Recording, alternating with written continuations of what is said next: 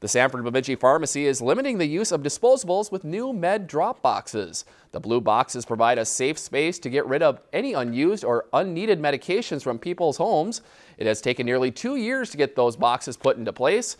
While most medications are accepted, there are a few rules to what can and cannot be put into the boxes.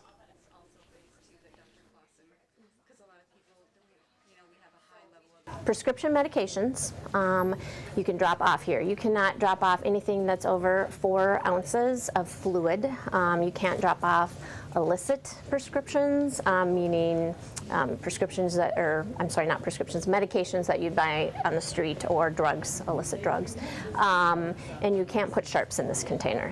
A few other rules include that items must be dropped off when the pharmacy is open, which is Monday through Friday from 8 until 6 and then on weekends from 8.30 until 5. You can also not leave medications outside and while you can put sharps or you can't put sharps in these containers, the hospital says they are working on a solution for that next. We have a second phase that we're working on that should be in place within the next couple of months, which is to have a sharps drop. So people who have needles, they're using them because they're diabetic, they're having to give them injections for other reasons, that they'll have a safe place to bring those needles and drop them off so they're not going into the waste, not going into the garbage, and so the people who handle the garbage are safe and don't have to worry about getting stuck by a needle. If you can't make it into the pharmacy, a second drop box is located at the Law Enforcement Center downtown. Sanford Health hopes to add even more boxes in the near future. If you've enjoyed this segment of Lakeland News, please consider making a tax-deductible contribution to Lakeland Public Television.